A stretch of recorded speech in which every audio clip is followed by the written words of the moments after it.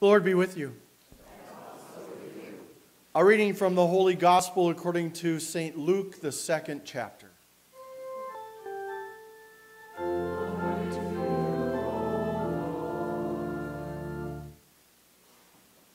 When the time came for the purification rites required by the law of Moses, Joseph and Mary took Jesus to Jerusalem to present him to the Lord. As it is written in the law of the Lord, every firstborn male is to be consecrated to the Lord, and to offer a sacrifice in keeping with what is said in the law of the Lord a pair of doves or two young pigeons. Now there was a man in Jerusalem called Simeon who was righteous and devout. He was waiting for the consolation of Israel, and the Holy Spirit was on him. It had been revealed to him by Holy Spirit that he would not die before he had seen the Lord's Messiah. Moved by the Spirit, he went into the temple courts. When the parents brought in the child Jesus to do for him what the custom of the law required, Simeon took the child in his arms and praised God, saying, Sovereign Lord, as you have promised, you may now dismiss your servant in peace, for my eyes have seen your salvation, which you have prepared in the sight of all nations, a light for revelation to the Gentiles, the glory of your people Israel. Child's father and mother marveled at what was said about Jesus. Then Simeon blessed them and said to Mary, his mother, the child is destined to cause the falling and rising of many in Israel, and to be a sign that will be spoken against, so that the thoughts of many hearts will be revealed. And a sword will pierce your own soul too. There was also a prophet, Anna, the daughter of Penuel of the tribe of Asher. She was very old she had lived with her husband seven years after her marriage and then was a widow until she was 84. She never left the temple, but worshiped night and day, fasting and praying. Coming up to them at that very moment, she gave thanks to God and spoke about the child to all who were looking forward to be the redemption of Jerusalem. When Joseph and Mary had done everything by the law of the Lord, they returned to Galilee, to their own hometown of Nazareth, and the child grew and became strong. He was filled with wisdom, and the grace of God was on him. The Gospel of the Lord.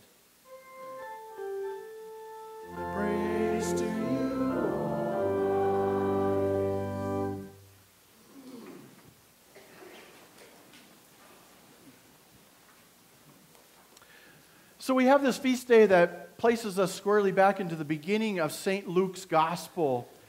And this story that we hear in our gospel today is unique to Luke's gospel. And when there's a story that's unique to one of the gospel question, uh, one of the gospels, it always leaves me questioning why? Why does Luke tell this story?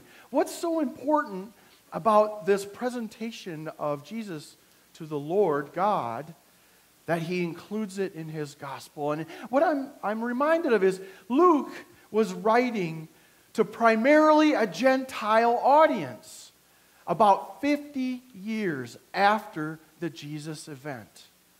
And his community was asking, why should we follow a Jewish Messiah? What did he bring to us that our own gods and goddesses don't present to us in the Roman mythology, in our own culture, why would we attach ourselves to Jesus? And Luke says something to them about the nature of sacrifice. How many of you have ever offered a sacrifice?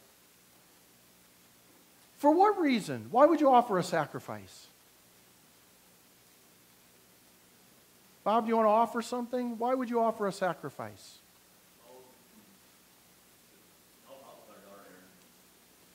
Say it again. So to sacrifice some of what you have for to lift somebody else up out of maybe a difficult situation. So kind of an act of generosity. Okay.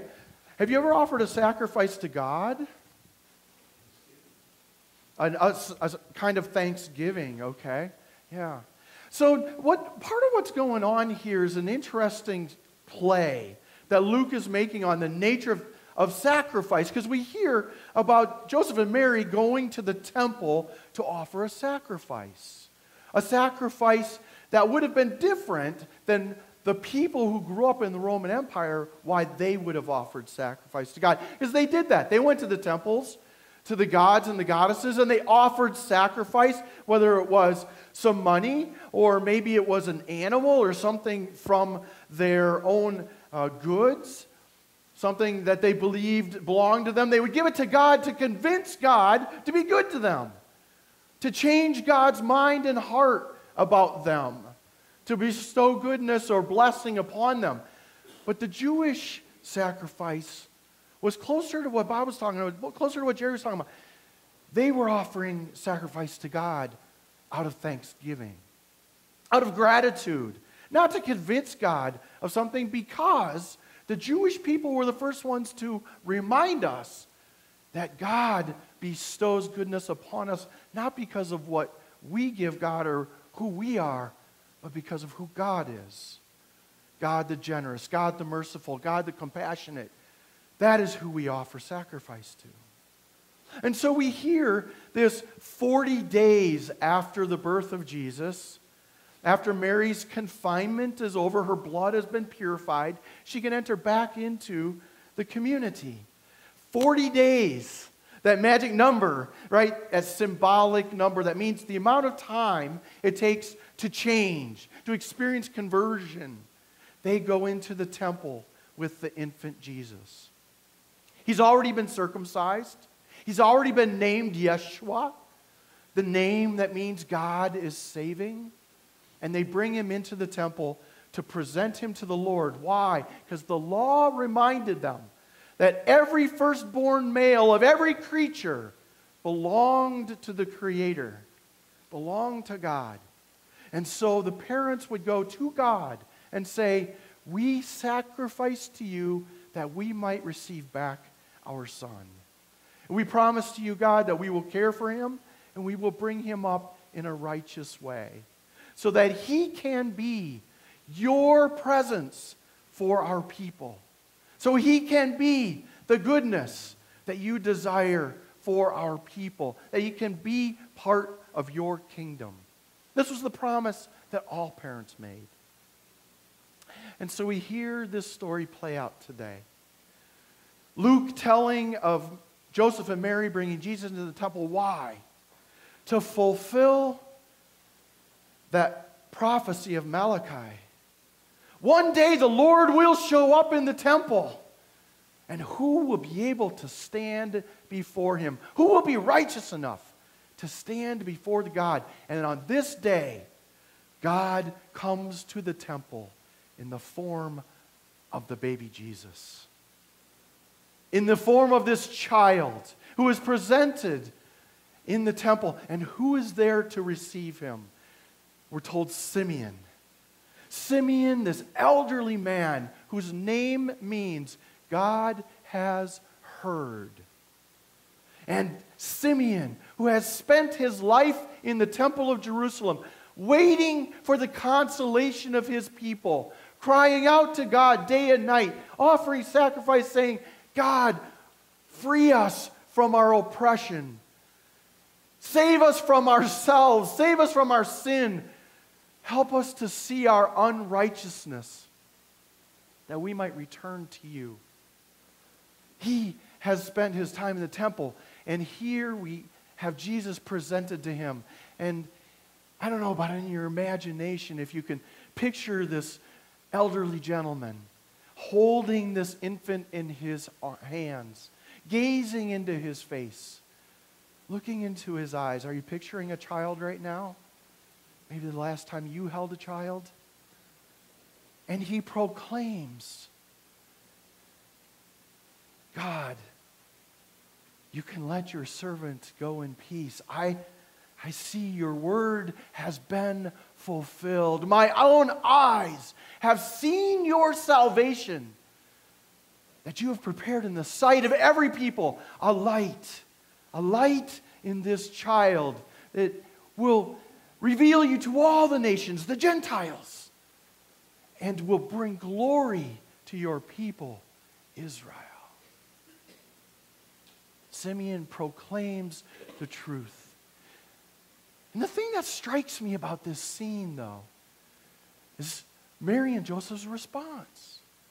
It says they marveled at what he said about Jesus, as if they were hearing it for the first time that this child, as Simeon goes on to tell them, is destined to bring about the rise and the fall of many in Israel. Why?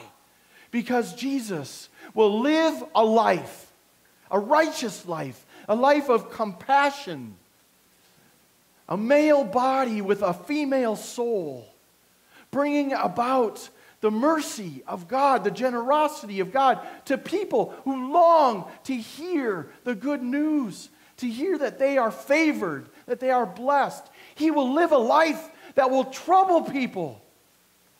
They will speak out against him. People's hearts will be revealed as they say, watching Jesus, that is God or that is not God. They will reject him. Some will follow. Some will be confused, and some will be enamored. People's hearts will be shown the truth, the rise and the fall. And Mary, you, even his mother, you will have to choose is this the Messiah of our God? that sword that divides? Will you choose to see God's goodness and great works through your Son, even as he bleeds out on that tree? As you watch him in agony, will you believe that this is the love of God being poured forth for the world? This sword will pierce your heart as well. Because, see, the people in Luke's community, they had to choose. Do they see the love of God in the story of this Messiah named Jesus? Does it make a difference for them? Does their following him help them to make a difference in the world? That's the question that was laid before them that day through Joseph and Mary. Can you see the love of God in a crucified Messiah. But you know, we're told that Anna, the female counterpart to Samuel, whose name means favor or grace, she too has lived her life 84 years, 7 times 12. Another biblical new number that's symbolic. The fullness of abundance in her, the fullness of their longing in her proclaimed, This is the one. We don't have to wait anymore. This is the one. Place your hope in him. And after, Sam, after Simeon and Anna have witnessed to the light that will be revealed in Jesus, we're told that the family returned back home, back to Nazareth, back to the Galilee, back to that place that dwelt in darkness, we heard recently, the land of Zebulun and Naphtali. A light comes back into their midst. And we're told that Jesus grows up strong in wisdom and in the grace of God. But you know, my friends, what's revealing itself to me is that Jesus did not grow up that way because God magically placed his finger on him and set him out as special. No, Jesus grew up that way because he lived with righteous parents. He watched them model mercy and compassion and faithfulness and prayer and generosity. He watched them go to the temple and to watch them to go to the synagogue to pray. He watched them lift other people up and heal. That's what formed him. God worked through his parents. It made a difference. That when Jesus was called into his public mission and ministry, that was a part of him. It was in his bones. That was the God he knew he was called to save, to serve, to love. So I think there's two things that are shown to us today for us to continue to reflect on. I know some will probably hear this as blasphemous. But what I imagine is that what Simeon proclaimed in the temple that day about Jesus is exactly what God proclaims about every child born in history. I think Joseph and Mary's amazement was the same amazement that every parent hears when somebody says, Your child is destined for greatness. Your child is beautiful. Your child will do great things, wonders. To have somebody say that about our children or our grandchildren makes our hearts swell, doesn't it? Simeon proclaims what Joseph and Mary longed to hear about their son. He will do great and wondrous things.